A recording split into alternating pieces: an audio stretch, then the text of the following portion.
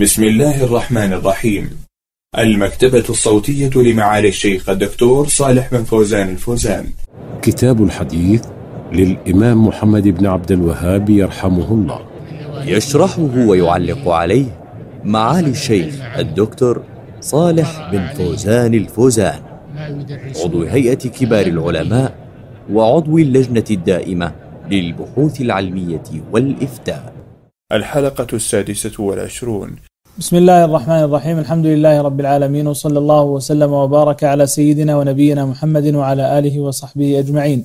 أهلا ومرحبا بكم أيها الإخوة والأخوات الكرام إلى هذه الحلقة الجديدة من سلسلة دروسنا ومجالسنا في شرح كتاب الحديث للإمام المجدد محمد بن عبد الوهاب رحمه الله تعالى.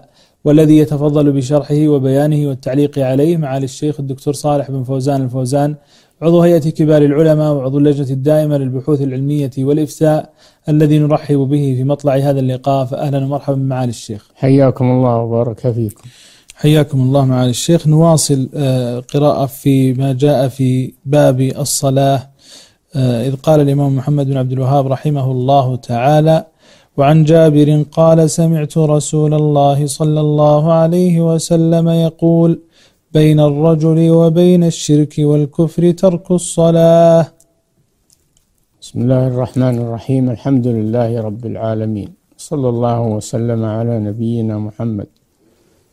هذا الحديث يبين فيه الرسول صلى الله عليه وسلم الفارق بين المسلم والكافر. فالذي يحافظ على الصلاة هذا مسلم. والذي لا يحافظ عليها هذا كافر. كما قال صلى الله عليه وسلم بين العبد وبين الكفر ترك الصلاة. نعم. وعن بريدة قال سمعت رسول الله صلى الله عليه وسلم يقول العهد الذي بيننا وبينهم الصلاة فمن تركها فقد كفر. نعم. العهد الذي بيننا وبينهم يعني الكفار يعني الفارق بيننا وبينهم ترك الصلاة فمن تركها فقد كفر وإن كان يدعي الإسلام الإسلام لا يقوم بدون الصلاة هي الركن الثاني من أركان الإسلام بعد الشهادتين. نعم. وعن أبي هريرة قال سمعت رسول الله صلى الله عليه وسلم يقول إن أول ما يحاسب به العبد يوم القيامة الصلاة المكتوبة فإن أتمها وإلا قيل انظروا هل له من تطوع فإن كان له تطوع أكملت الفريضة من تطوعه ثم يفعل بسائر الأعمال المفروضة مثل ذلك. نعم وهذا الحديث فيه أنه إذا كان عند الإنسان نقص في أداء فريضة الصلاة فإنه ينظر هل له من تطوع. يجبر ذلك النقص. هذا فيه الحث على صلاة التطوع بعد الصلاة المفروضة لأن الإنسان عرضة للنقص مهما كان فهو عرضة للنقص. فشرع الله صلاة التطوع ليجبر منها ما حصل في الفريضة من خلل. هذا في الذي يصلي ولكن عنده نقص في صلاته. أما الذي لا يصلي أصلا فهذا لا ولو صلى تطوعا ما يقبل منه إلا بعد أداء الفريضة. نعم. وفي حديث معاذ ما من أحد يشهد أن لا إله إلا الله وأن محمد رسول الله صدقا من قلبه إلا حرمه الله على النار. ما من أحد يشهد أن لا إله إلا الله وأن محمد رسول الله صدقا من قلبه بهذا القيد. يعني لا يكتفي بالتلفظ بشهادة أن لا إله إلا الله أن محمد رسول الله. بل لا بد بل لا بد أن أن يقر بمعناها وأن يعمل بمقتضاها. معنى أن يقر بمعناها فلا يعبد إلا الله ويعتقد بطلان كل ما عبد من دون الله عز وجل. ولا بد أن يؤديها كما أمره الله سبحانه وتعالى في وقتها وفي وفي أركانها وواجباتها و وسننها التي تكملها. وإذا حافظ عليها فهو محافظ على دين. أول ما يحاسب عنه العبد كما في هذا الحديث أول ما يحاسب عنه العبد من عمله الصلاة. فإن قبلت قبل سائر عمله وإن ردت رد سائر عمله. فهي أول ما يحاسب عنه العبد من الأعمال. نعم. وفي رواية من لقي الله لا يشرك به شيئا دخل الجنة. من لقي الله لا يشرك به شيئا دخل الجنة يعني ولو كان عنده ذنوب دون الشرك ودون الكفر فهو يدخل الجنة. إما ابتداء بحيث لا يعذب وإما بعد أن يعذب على ما عنده من الذنوب الكبائر ثم يدخل الجنة بعد ذلك. نعم.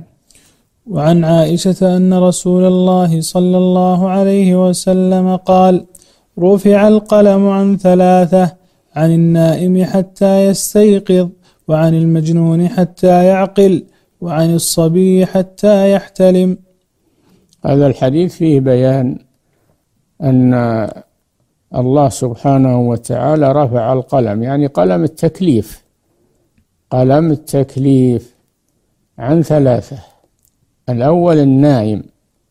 النائم حتى يستيقظ. ما دام نائما فإنه لا يؤاخذ بما يصدر منه لعدم وجود العقل. و والنائم حتى يستيقظ. والصغير حتى يبلغ. الصغير ليس عليه تكليف. حتى يبلغ الحلم. بأن توجد فيه علامة من علامات البلوغ. إما الإنبات إنبات الشعر الحش الخشن حول القبل وإما بالمرأة أن تحيض. إذا حاضت أيضا فقد بلغت سن التكليف. وإما بأن بأن يبلغ خمس عشرة سنة. البلوغ يكون بالسن. يكون بالسن, بالسن. يكون بثلاثة أشياء بالنسبة للذكر.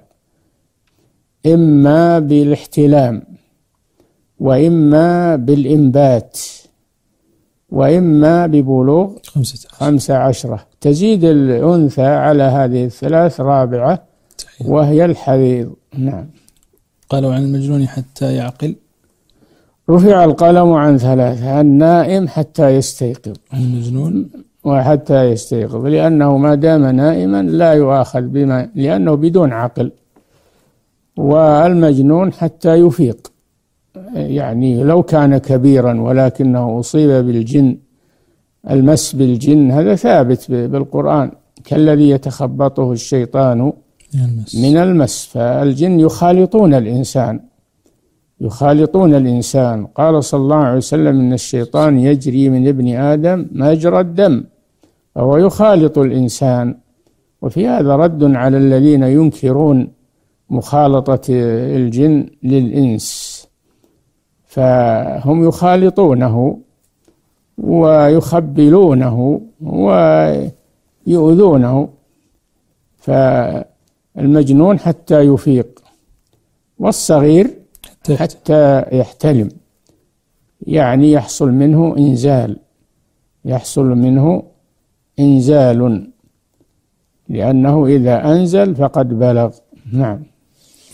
وروى أحمد وأبو داود من حديث عمرو بن شعيب عن أبيه عن جده أن النبي صلى الله عليه وسلم قال مروا أبناءكم بالصلاة وهم أبناء سبع سنين واضربوهم عليها لعشر وفرقوا بينهم في المضاجع. هذا الحديث أصل في التربية الإسلامية. والأولاد تحت ولاية أبويهم ما داموا صغارا. فهم الذين يوجهونهم ويربونهم ويتعهدونهم وهم المسؤولون عنهم أمام الله سبحانه وتعالى. قال صلى الله عليه وسلم مروا. هذا أمر للوالدين تكليف للوالدين. مروا أولادكم. يعني ذكورا وإناثا بالصلاة. وهم أبناء سبع سنين يعني إذا بلغوا سن التمييز لأن المميز يعقل ما يفعل وتصح منه العبادة ويؤجر عليها وتكون بحقه نافلة تكون بحقه نافلة. وليتربى عليها من الصغر مروا أولادكم بالصلاة لسبع. واضربوهم عليها لعشر إذا بلغ عشر سنين فقد بلغ أو قارب البلوغ. فإذا ترك الصلاة فإنه يعاقب. أما المميز يؤمر بدون ضرب. وأما الذي بلغ عشر فإنه يؤمر مع الضرب إذا لم يمتثل الأمر. عقوبة له واضربوهم عليها لعشر.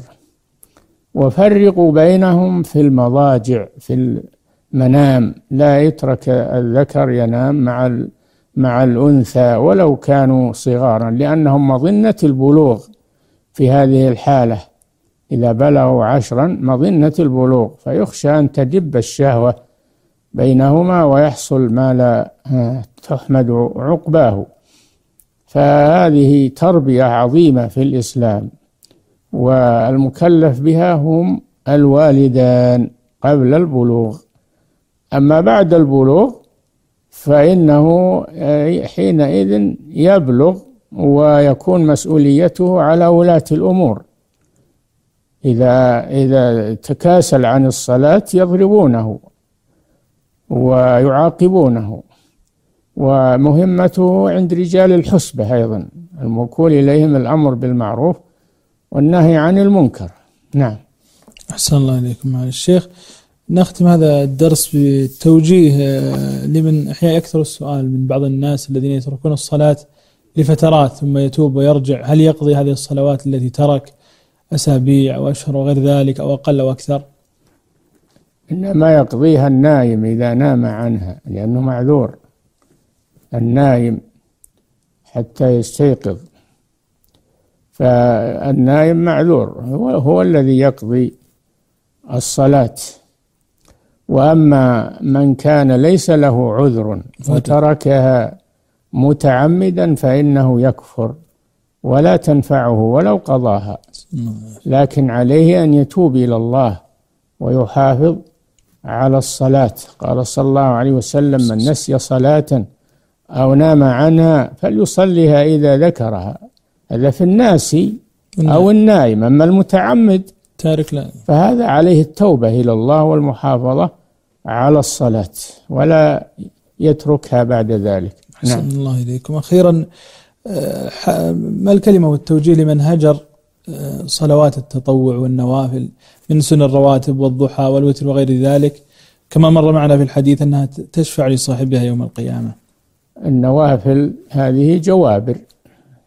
يجبر بها الله نقص الفرائض إذا إذا يقول الله جل وعلا عند الحساب لملائكته حاسبوا عبدي. فإذا حاسبوه وصار عليه نقص في دينه قال التمسوا له آه، نافلة يكمل بها ما نقص من الفريضة. فالنوافل لها أهمية عظيمة فلا يتساهل فيها. الله جل وعلا يقول في الحديث القدسي ما تقرب إلي عبدي بشيء أحب إلي مما افترضته عليه ولا يزال عبدي يتقرب إلي بالنوافل حتى أحبه. فإذا أحببته كنت سمعه الذي يسمع به وبصره الذي يبصر به ويده التي يبطش بها ورجله التي يمشي بها ولئن سألني لأعطينه ولئن استعاذني لأعيذنه. وما ترددت في شيء. أنا فاعله ترددي في قبض روح عبد المؤمن. يكره الموت وأكره مساءته نعم. أحسن الله إليكم سماحة الشيخ وضعف مثوبتكم إلى هنا نأتي وإياكم أيها الكرام. إلى ختام هذا الدرس من سلسلة دروسنا ومجالسنا في شرح كتاب الحديث الإمام محمد بن عبد الوهاب رحمه الله تعالى. نلتقي وإياكم في الدرس القادم إن شاء الله. هذا يزيد الريش يترككم في رعاية الله وحفظه. والسلام